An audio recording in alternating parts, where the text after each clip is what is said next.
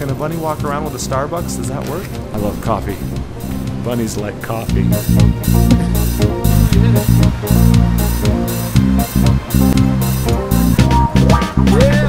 That's what I'm talking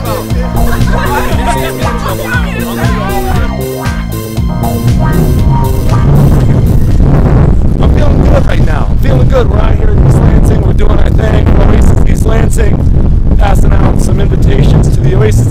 Easter service as the Easter Bunny himself. I don't know if you guys know, but the Easter Bunny goes to our church at Oasis East Lansing.